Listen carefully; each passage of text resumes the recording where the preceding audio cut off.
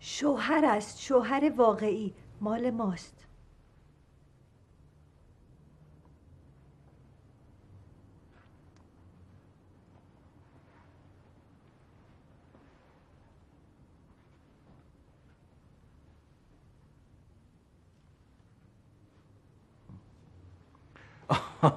بله من خب من یک توضیح خدمتون بدم که اولا خیلی خوشحالم از اینکه ما با هم آشنا شدیم و این وصلت به حال صورت گرفت. من خدمتون بگم که من توی بازار تو قهوه خانه نشسته بودم که ایشون تشریف آوردن. و بعد ما یه صحبت هایی کردیم مبنی برای اینکه مثل اینکه برزوخان فرار کرده بودن از قرار معلوم.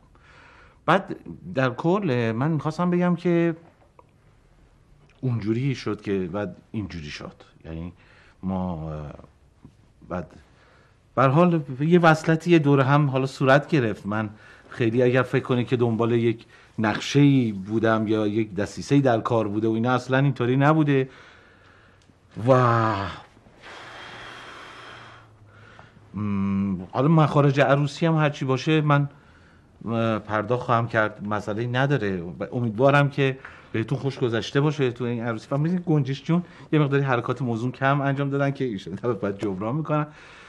بله و فکر می‌کنم که الان خیلی خوشحالیم همه با هم. یه مقدار مثل که شما هم خسته هستین اینجور که معلومه حساب ندارین. من به هر جوکی هم بلدم اگه بخوایم کلا من یه تصدایی هم دارم حالا ببرم جوک و اینا. که کاری شما یه چیزی نمیگین که مثل حرف نمیزن اصلا. شوهر است شوهر واقعی مال ماست. میگه مال ماست من چیزه.